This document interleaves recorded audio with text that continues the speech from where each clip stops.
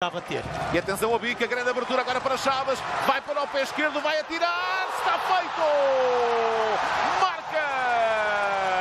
A equipa do Marítimo, a bizar Bruno Chaves, mais uma vez, pontapé esquerdo, pontapé fortíssimo do lado esquerdo. E a colocar a bola outra vez no fundo da baliza de Lucas França, já no tempo de compensação e aí está o delírio nos barreiros com os adeptos do Marítimo. Está endiabrado uh, Bruno Chadas nesta partida, sobretudo depois desse primeiro golo.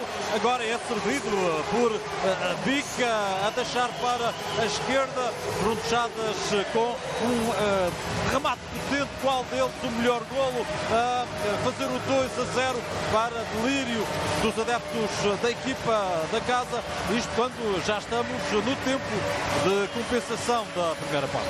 Foram 5 minutos dados, aqui vemos o pontapé forte, agora a voar Lucas França, mais uma vez adiantado também, e a bola a descer na altura certa.